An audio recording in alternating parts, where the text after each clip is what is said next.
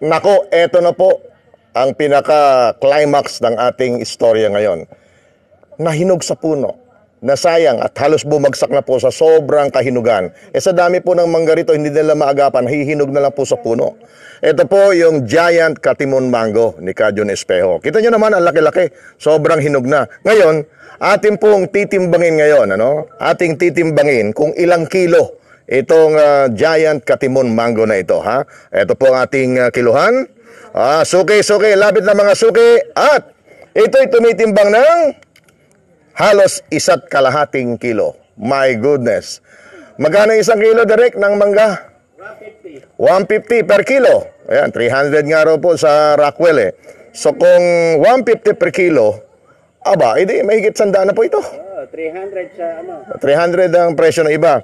Okay, so ito po yung sobrang hinog na. Dito naman tayo sa Manibalang mga kaibigan. Ito po yung Manibalang na katamtaman ang laki. Hindi pa ito yung kalakihan. Ang kilo po nito ay Ayon, 1 kilo. Isang kilo, isang bunga. Okay? So sa dalawang kilo, ito manibalang na, ang sarap. Ipa, ipagayat natin mamaya. Ito, ito rin.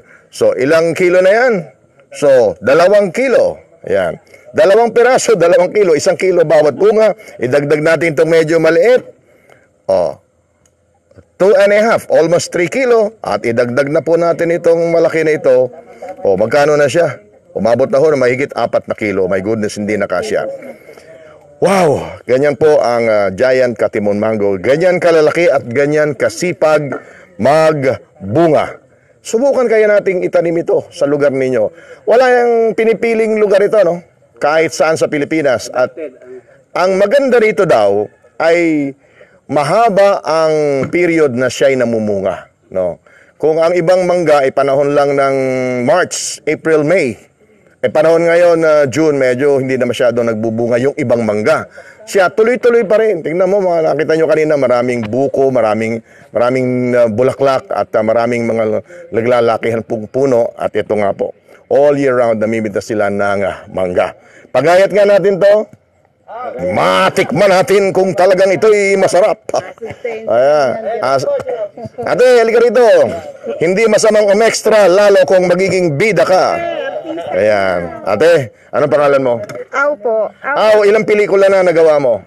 Ay, madami na po. Mga 101 po. Ay, madami, okay. Pakita natin. Marunong sumagot. Palagi ko naturuan na, na naturuan ni Derek Kakabalagtas to. Mga 101 na pelikula na po. Aral ka kay Derek. Ayan. Tingnan natin. Labit ka rito, Miss Cameraman. Ayan. Ito, manibalang.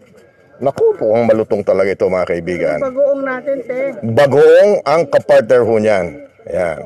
Sa pagbabalat ho ng mangga, may technique din dyan. Di ba, aw? O, ilang libong mangga na ba ang nabalatan mo? Mga 1.5 million na po siguro, sir. Sa dami ng bunga kasi dito, no? Opo. At ano ang nasabi ng mga taong nakatikim na dumayo pa rito para matikman yung mangga na yan? Ay, 101% po. Napakasarap po. Napakalutong pa po. O, tingnan mo, magaling. Hin- hindi kaya si Charon yung sinasabing malutong, mangga ba yun? Ay, hindi po, sir. Try niyo po ngayon na po, sir, kung gusto niyo po. Ayan, okay. Okay, itry natin. O, taga mo naman ho. O, gayatan mo nga ako ng isang piraso at matikman natin. Ayun, malutong na manibalang ang mangga. Lapit natin ang camera. Direct, anong angulo ang gagawin natin dito?